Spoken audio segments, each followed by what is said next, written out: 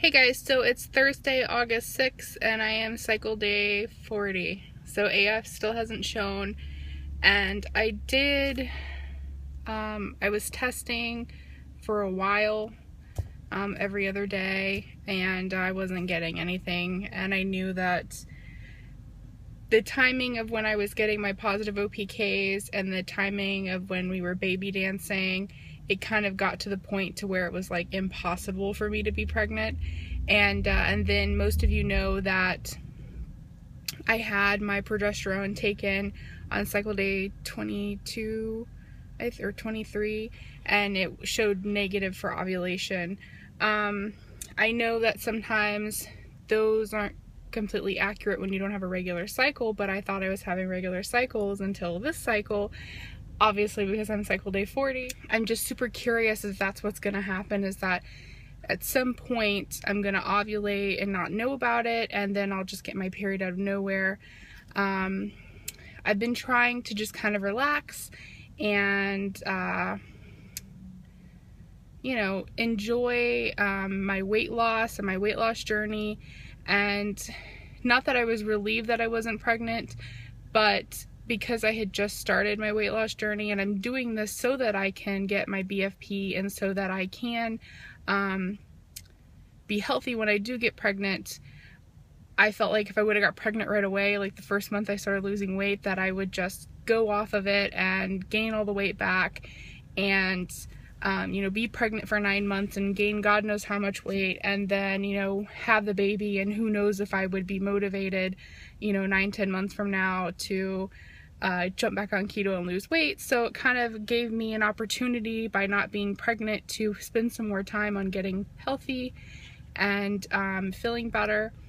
And so um, I wasn't extremely disappointed that, you know, I got negative tests. I was disappointed that the blood test showed I didn't ovulate. About two days ago, I started having um, my typical ovulation type symptoms. I've been real not crampy not like period cramp but just kind of like an aching like a deep kind of rumbling achy feeling um, in my uter uterus area. And then my cervix has kind of dropped low and it's super firm. And I have tons of um, EWCM and watery CM just like I do the week that I ovulate. And so I, I was super curious as to if maybe I'm ovulating because I'm showing, you know, my typical symptoms.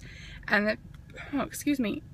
And then, um, yesterday, my boobs started getting tender, but not in the kind of way, usually when AF is about to show, I get tender breasts. So I've never been able to use that as a, um, maybe I'm pregnant symptom because I get tender breasts around ovulation, I get tender breasts around AF, and, but this was like, this is like a burning, like almost like a pin, like prickling kind of needleish kind of burning. I don't know how I'm trying to say, but it's not like an ache or a tender. It's almost like like pin pricks like throughout my boobs and just very weird. I've never felt that sensation before. So I am at, I just got out of Dollar Tree and I picked up, um, I picked up pregnancy tests and I pick up the OPKs um, because I kind of thought, well, I don't know if I'm possibly ovulating um, into like the next cycle and I'm, you know, going to be ovulating or I've already ovulated or if I might be pregnant. So when I asked this, this Dollar Tree makes you ask for the test at the register and this is the one that they gave me.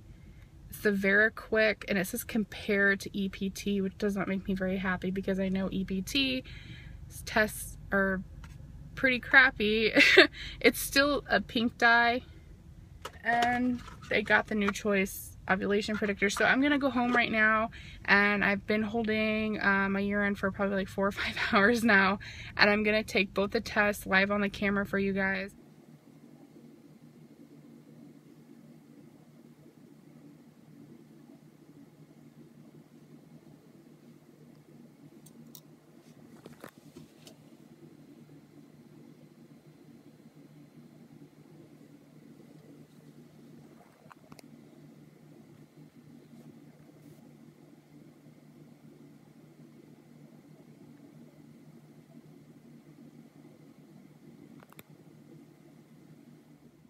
So I set a timer for three minutes for both tests and I'll just show you what I got.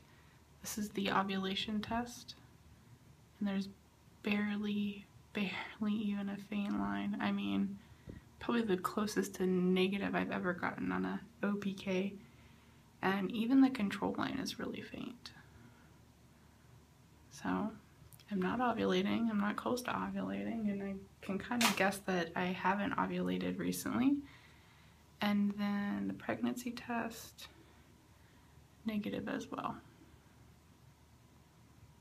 So, nothing.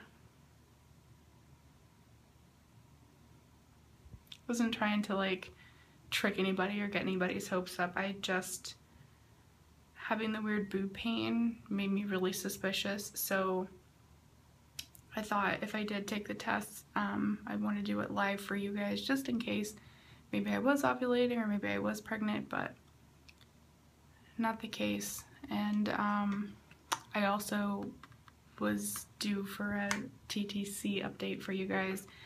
Um, as far as what I'm going to do now, um, I've been going back and forth. I've been debating um, should I call my doctor's office and see if they'll give me Provera?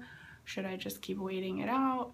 I'm not sure because the last instructions that they gave me was um, cycle day one to give them a call and they would set me up to test my progesterone levels again on days 21 and like 23 or something. And um, I said, okay. And then AF never showed and I'm not pregnant and she still hasn't showed. So I'm I don't know what to do because I, before when my cycles were irregular and I would go months with either having a period, months straight, or I would go months without a period, um, they kept trying the Provera and it, my body just did not respond very well to it. Um, you know, I was bleeding pretty heavily and they gave to me, said take it a week and then stop. And I would do that and nothing would stop. And they'd say, okay, we'll take it for two weeks and then stop, and then nothing would happen. And then um, I ended up having to get like a D&C, then um, my period would never come back.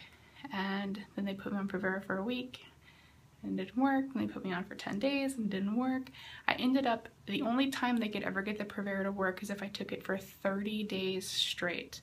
So Provera every day for 30 days, stop, and then about a week later I would get my period and almost every time I did that I would get my period and my period wouldn't stop unless I took Provera again to make it stop.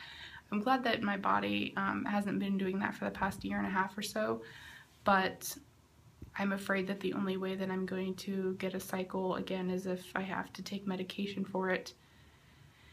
And I don't want to go through all that all over again, so I just keep hoping every day that you know, when I go to the bathroom that she's going to be here and she's not. So I don't know what is a good point to give up and call the doctor or, you know, how far, how long I should wait. But right now, that's what I'm debating. I haven't made up my mind. Um, I'll let you guys know when I do. Um, and so it's either going to be a phone call or I'm just going to keep focusing on getting healthy and focusing on losing weight and maybe once my weight loss kind of steadies out and I'm losing like a pound or two a week instead of losing a lot of weight maybe my body can get back into a healthy cycle maybe in a few weeks. Um, I'll be back on track. I don't know. But um, like I said you guys will be the first to know um, what my decision is if I'm going to do the Provera or maybe he has another option. Maybe there's another medication that I don't know about um, or even maybe some birth control. But I don't know. It's frustrating, but thank you so much for watching. And um, if you have had a similar experience with weight loss or um, have taken any other type of medication besides Provera to induce your period, please let me know about it down below in the comments.